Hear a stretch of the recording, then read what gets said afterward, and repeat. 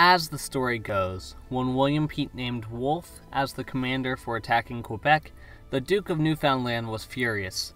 He called Wolfe a strange officer with rigid behavior. He was tall, lanky, he wouldn't wear a wig, and he had never led an army before. The Duke went on to call Wolfe mad. The king replied, Mad, is he? Then I hope he'll bite some of my other generals and make them mad too. Major General James Wolfe was an unorthodox leader in the British Army. One example is that during the siege of Quebec, if a soldier had any issues in his firing drills, he would not be punished by a whip. Instead, he would be dressed up in female attire and parade around the camp. Major General James Wolfe was born January 2nd, 1727, into a military family. From a young age, Wolfe had a frail constitution, always getting sick.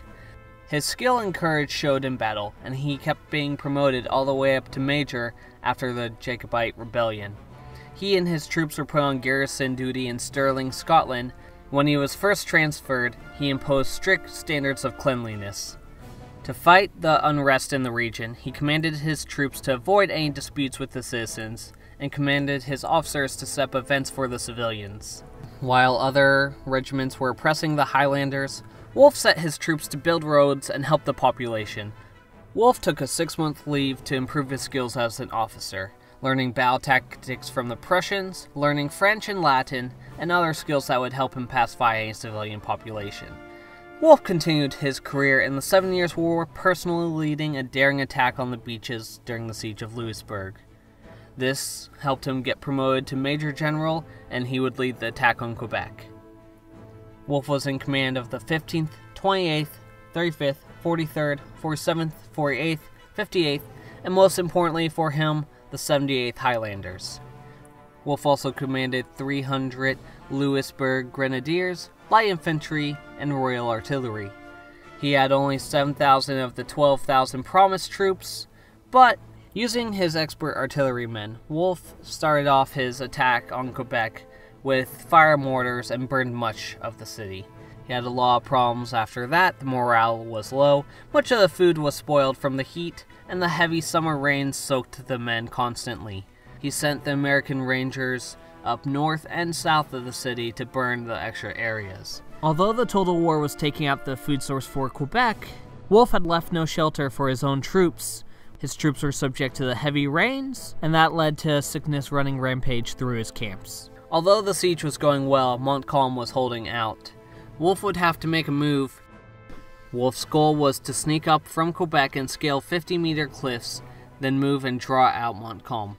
He told a few officers of the attack to limit any information from spies or deserters. He used a fan with all the navy attacking southwards. This worked out great as Montcalm sent both his grenadiers and what little artillery had to stop this.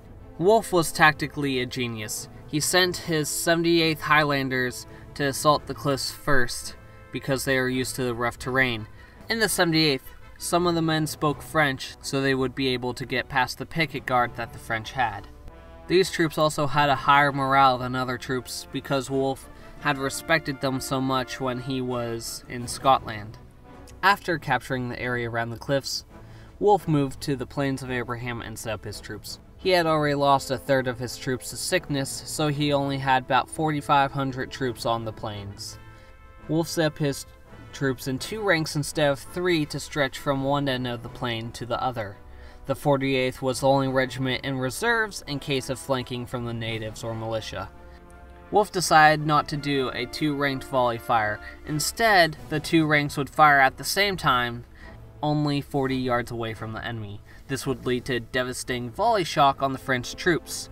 John Knox wrote in his report that Wolfe had the troops charge their muskets with two balls instead of one to even create more of a shock. During the battle, Montcalm did not wait for his reinforcements, believing that Wolfe was bringing more artillery up the cliff. During the battle, Wolfe would be hit twice before he even commanded his army to shoot, and then he got shot in the chest, and that would prove to be fatal. His style of leadership was bold and of new tactics. His goal was to take Quebec, and his personal goal seemed that he wanted to die in honor of battle than die of sickness. In these goals, Wolfe accomplished both. Not only did he do everything right, his troops took minimum casualties that day, and the morale crush would cause the rest of Quebec's troops to surrender a few days later. While in the 18th century Wolfe was painted as a hero, he would eventually be reduced by historians to be bloodthirsty and very lucky in his victory against Montcalm. One such historian was French Canadian historian Casgrain. He published his book in 1905, arguing that Wolfe was bloodthirsty and brought terror to Canada with his total war. He goes on in his book to list how Wolfe was very lucky how the sentry had forgotten his post that day, how the officer that patrolled the coast at that time was on a lame horse so he was not at the right position, how the guard on the cliffs was replaced four days earlier by one of the worst French captains. His list seemed to go on and on. and Fast forward another hundred years, and historians' minds have started to change.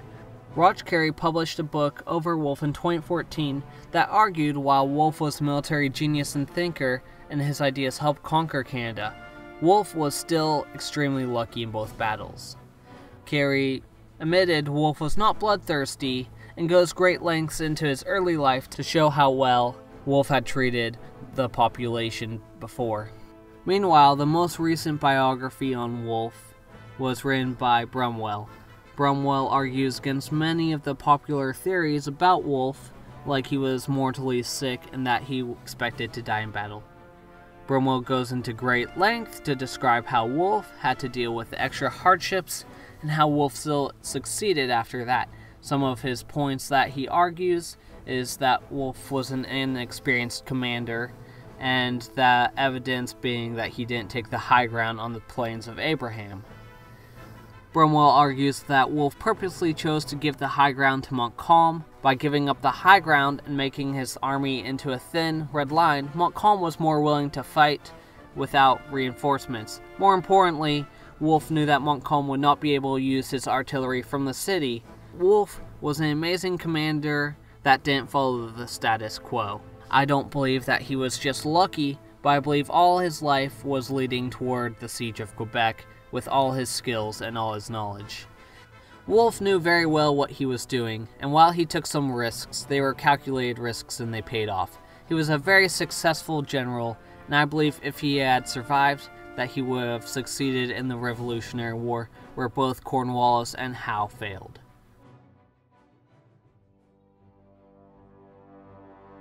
Thank you for watching my video essay. This video was made for Military History 4393 at Baylor University.